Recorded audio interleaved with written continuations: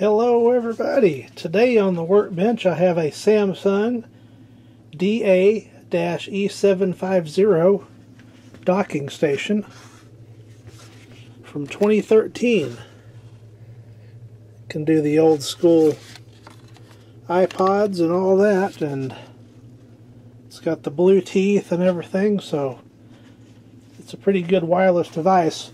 This uh, this is my cousin's he actually had this unit when he lived here at the house, and it does sound pretty nice for what it is.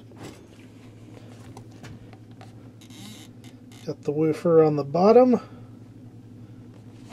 I am in the process of troubleshooting.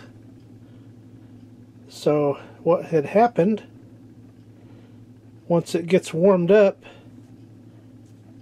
there was a lot of static and popping out of the left speaker.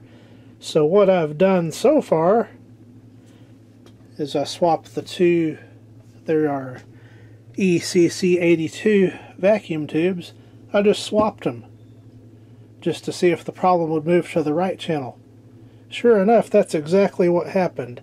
I will power it up and let it warm up and demonstrate the issue. I will power it up and that's kind of hokey there. They put orange LEDs underneath the vacuum tubes just to make them stand out a little more. And it's going through the whole thing trying to find something to connect to. Not really going to need anything to demonstrate this because it makes makes the sound regardless if there's a signal or not. So we'll let it warm up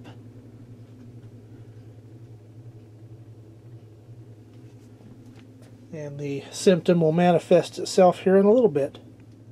And you can see the actual for real filament glowing up there in the top, the little orange rectangular shape.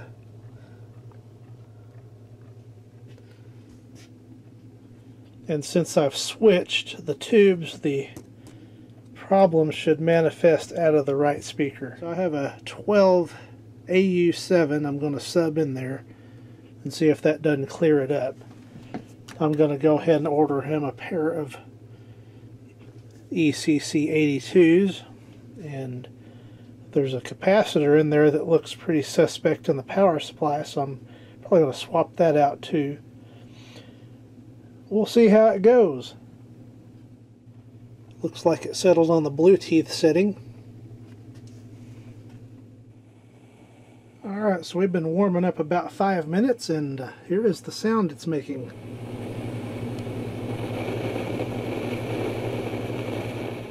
It'll pop and crackle and Rice Krispies like crazy in a little bit.